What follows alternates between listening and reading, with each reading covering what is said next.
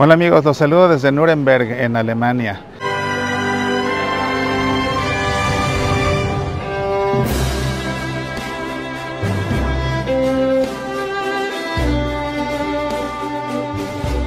Saliendo de la Hauptbahnhof, la estación de tren, encontramos la muralla original que rodeaba Nuremberg en la Edad Media y el acceso sureste. De los casi 5 kilómetros de murallas que rodearon la ciudad en la Edad Media, el 90% ha sobrevivido. La arenisca se extrajo localmente y todavía se pueden ver los pequeños huecos hechos por las pinzas de construcción cuando levantaron las piedras en su lugar. El acceso sureste nos conduce al Handwerkerhof, el patio de los artesanos. Esta pintoresca colección de casas de entramado de madera tiene un aspecto muy medieval. Sin embargo, fue construida en 1971 para celebrar la artesanía y para honrar el cumpleaños número 500 del hijo favorito de Nuremberg, Albrecht Dürer, el pintor más famoso de Alemania, considerado el máximo de los artesanos. Nuremberg no tenía abundantes recursos naturales, por lo que sus ciudadanos se ganaban la vida a través del comercio y la artesanía, como la fabricación de instrumentos científicos, armas y armaduras. Este patio, originalmente una zona de espera para carruajes que aguardaban para entrar a la ciudad imperial libre, es ideal para sentir el ambiente medieval al ingresar al casco antiguo de Nuremberg. Está lleno de réplicas de tiendas medievales donde los artesanos realmente elaboran productos de cuero, cerámica y latón. En la Edad Media, esta área entre las murallas era un punto de control aduanal y de seguridad para los visitantes. Esta torre, la Königstorturm, custodia una de las cuatro entradas principales en la Edad Media a la ciudad vieja de Nuremberg,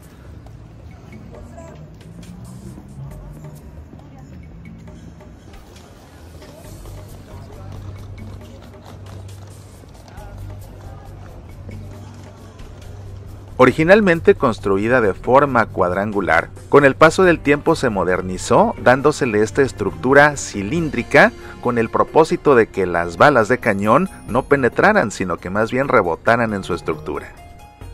Nuremberg alcanzó su apogeo en el siglo XIV. En 1356, el emperador Carlos IV emitió un decreto desde Nuremberg llamado la Bula de Oro, que regularizaba muchos aspectos del gobierno imperial. A lo largo de la Edad Media, se suponía que los emperadores alemanes debían ser elegidos en Frankfurt, coronados en Aquisgrán y celebrar su primera dieta imperial, es decir, una reunión con los nobles y con las personas más importantes de Alemania justo aquí, en Nuremberg.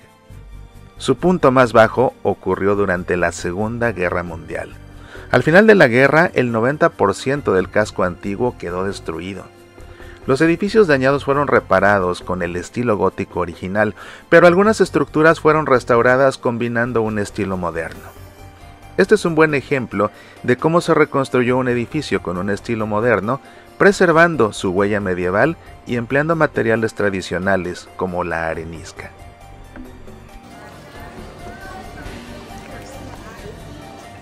Estoy a los pies de la iglesia de San Lorenzo, una iglesia muy importante en la historia del cristianismo, una iglesia gótica que en un principio fue católica, pero que después, debido a la reforma protestante, dejó de serlo y es ahora una iglesia luterana. Sin embargo, conservó su arte sacro católico con el paso de los siglos y es un arte en madera que vale la pena conocer. La iglesia de San Lorenzo en Nuremberg es una de las construcciones sacras de la época medieval y de estilo gótico más famosas e impactantes. Cuando la realeza venía a la ciudad, no lo hacía por la avenida del rey. Ingresaba por la puerta al occidente de la muralla para tener de frente la vista de la fachada de San Lorenzo, que mide 70 metros de altura.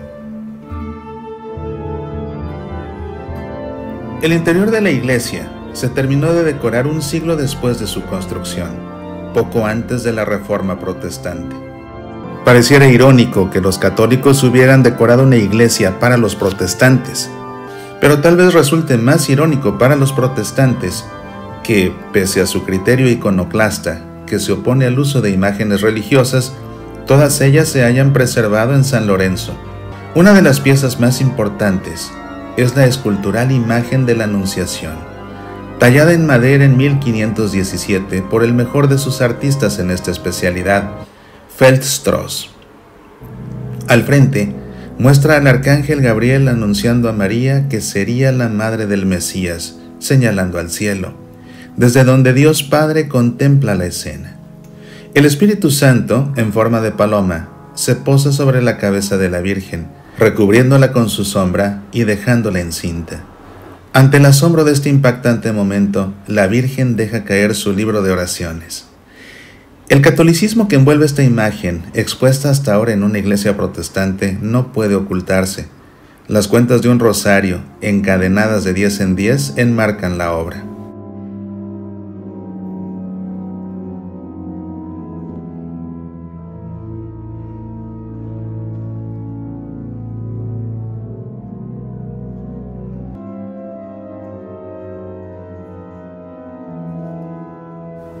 A la izquierda del altar se encuentra el majestuoso sagrario que contenía las hostias consagradas reservadas tras las misas para llevarlas a los enfermos y moribundos. En su estilo gótico, el sagrario se extiende en una aguja hacia las alturas. El tema del sagrario es la pasión de Cristo, en orden cronológico. La última cena, el beso de Judas, el arresto en el huerto, la crucifixión, la sepultura y la resurrección. Es de destacarse que el sagrario en sí está todo esculpido en piedra, a excepción del Cristo resucitado en la parte superior, tallado no en roca muerta, sino en madera, que se consideraba un material viviente. Anticipando el bombardeo de las fuerzas aliadas en la Segunda Guerra Mundial, este sagrario fue resguardado en una estructura de concreto, salvo los últimos seis metros, que sí quedaron destruidos. Este exquisito arte medieval sobrevivió el bombardeo de la Segunda Guerra Mundial que dañó significativamente la iglesia de San Lorenzo.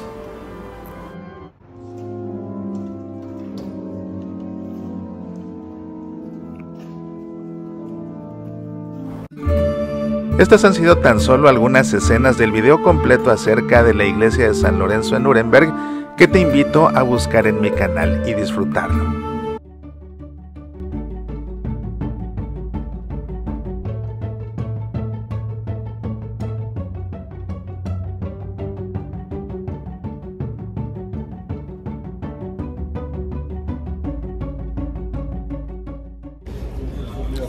Vamos a probar el tradicional Dry in Bekla aquí en Nuremberg, que está formado por tres salchichas al estilo de Nuremberg, que son muy diminutas. Y son así de diminutas porque en la Edad Media, cuando cerraban las murallas de aquí de Nuremberg y llegaban los comerciantes, había el riesgo de que fuera una trampa y entrara el ejército enemigo cuando llamaban a la puerta, de manera que inventaron estas salchichas para pasarlas por las cerraduras, de ahí su tamaño. Y ahora son una tradición aquí en Nuremberg y de maridaje, un Apfelschorle, que es jugo de manzana con gas. No es como el sidral, porque todo el mundo piensa que es un refresco de manzana pasteurizado como el sidral mundet. No, es jugo de manzana con un poquito de gas. Guten Appetit.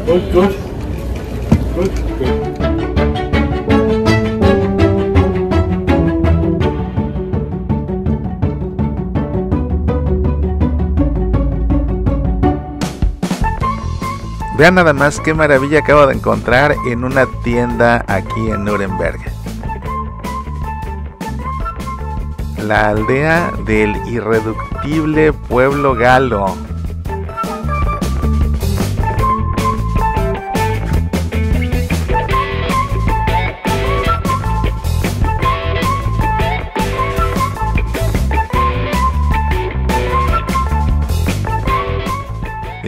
Está la pescadería de Orden Alphabetics.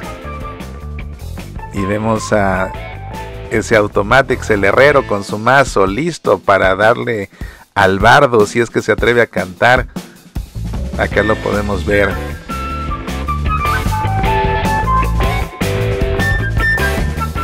Ahí están por supuesto los menires de Obelix. Y su perrito, Idefix.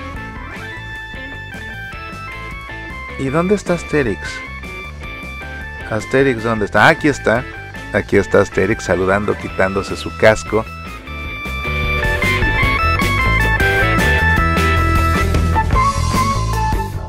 bóveda de Piedrix con su esposa. Vean los pescados de orden alfabetix.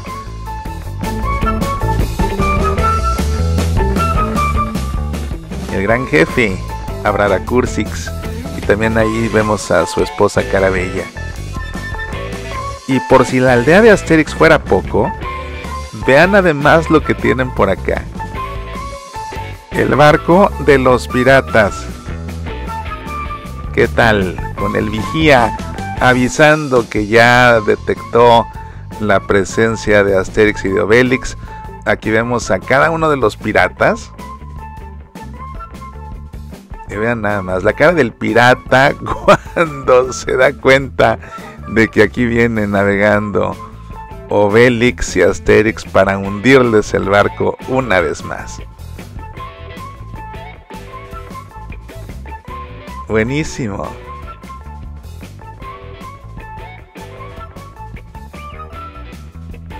899 euros cuesta.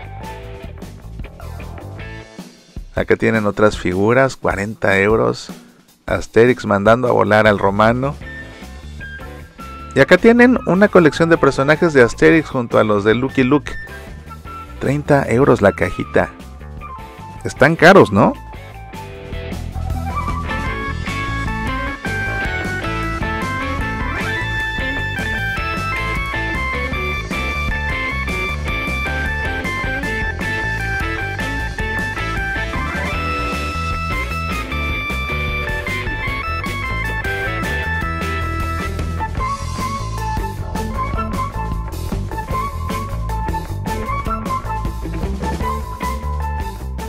Pero qué nariz tiene esa mujer, decían todos de Cleopatra.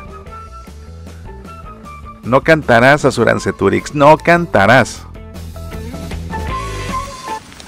Ha comenzado a llover y tenemos dos opciones. Ir a guarecernos a un lugar bajo techo y esperar a que pase la lluvia o caminar por Nuremberg bajo la lluvia. Te propongo que hagamos esto último.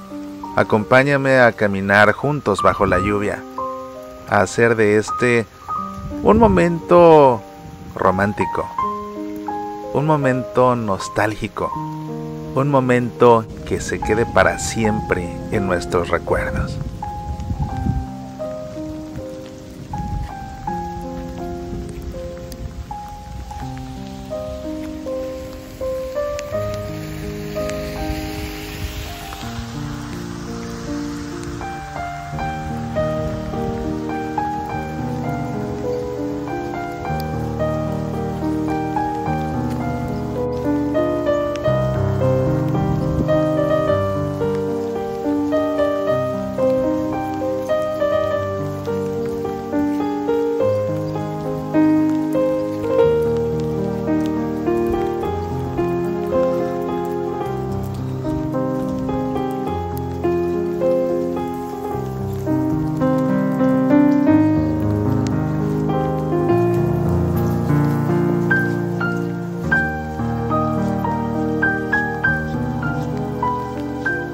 Y me vienen a la mente las palabras que me decía cuando niño una tía a quien quise mucho, mi tía María, hermana de mi abuelo.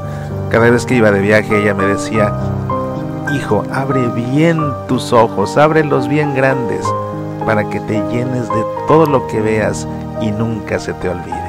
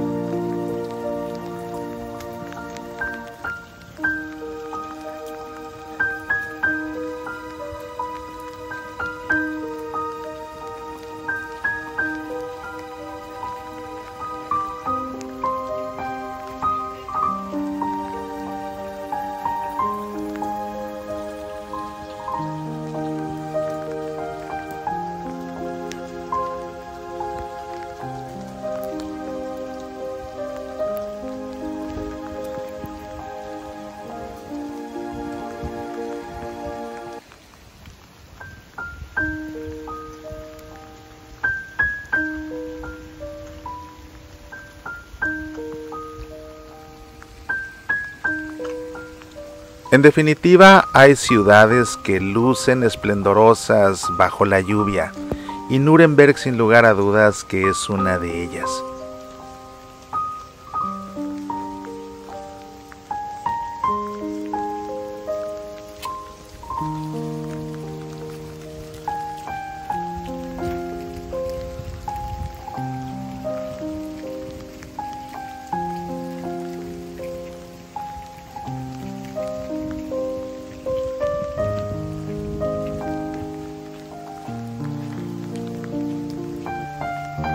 A lo largo de los años he grabado muchísimos videos, pero te puedo asegurar que este video caminando bajo la lluvia en Nuremberg ha sido el video que más he disfrutado grabar en toda mi vida y ha sido el video que más me ha gustado de todos.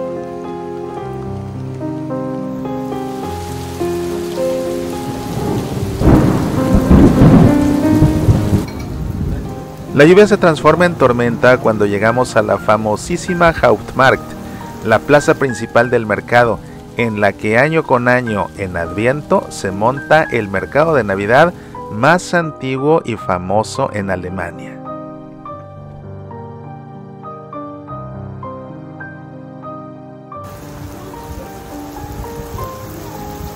Tan solo pensar que este lugar ha estado aquí desde la Edad Media me estremece la piel.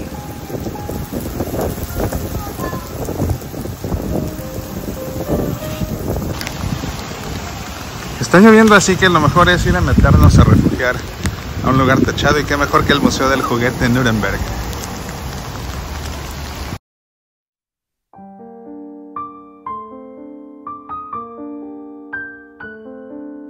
Estas son solamente unas cuantas tomas del Museo del Juguete.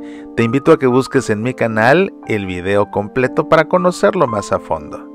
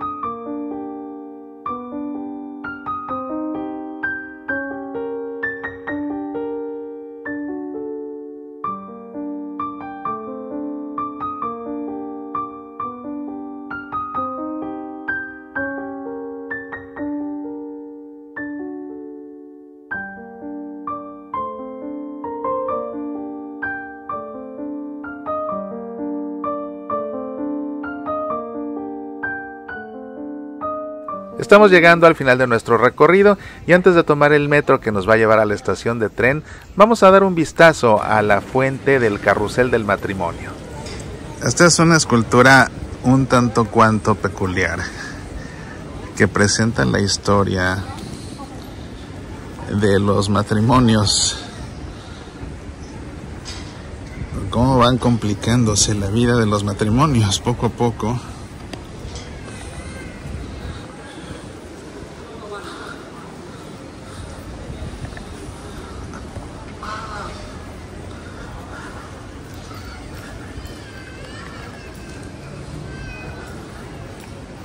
Es un poco difícil de interpretar, pero el desenlace es fatal.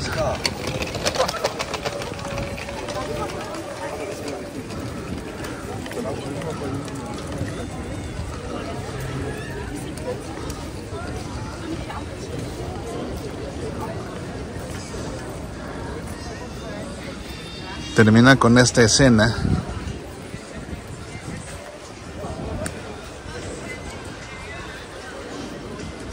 que dice los pleitos de los matrimonios duran hasta la eternidad.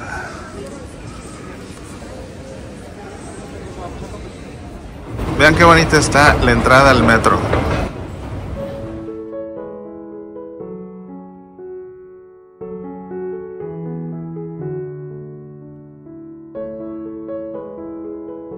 Parece que en un par de hogares acaban de tener bebés y las repartidoras descansan antes de emprender el vuelo de regreso a París. Espero que este video haya sido de tu agrado. Nos vemos en el siguiente.